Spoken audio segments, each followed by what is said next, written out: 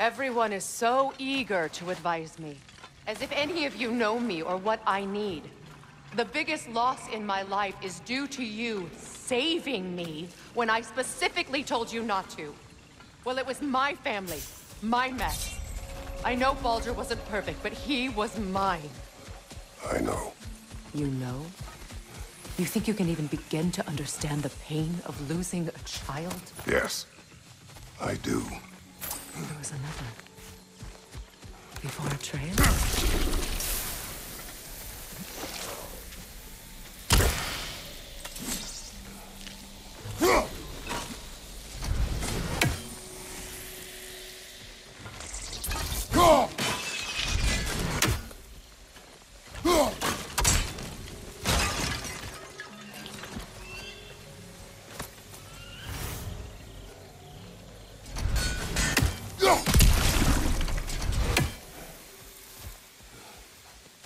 was Calliope.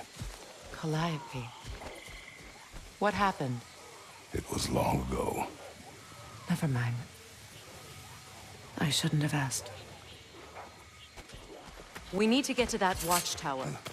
We'll have to go through the valley, this way. I know your son's story. You should know my daughter's.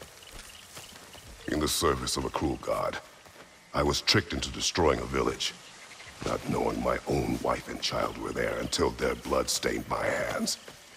I swore revenge. That's... I can't imagine. I paid back their blood a thousand times and burned Olympus to the ground. Yet, the guilt remained. Perhaps you will kill me, Freya. But it will bring you no peace. Perhaps it is not peace I seek.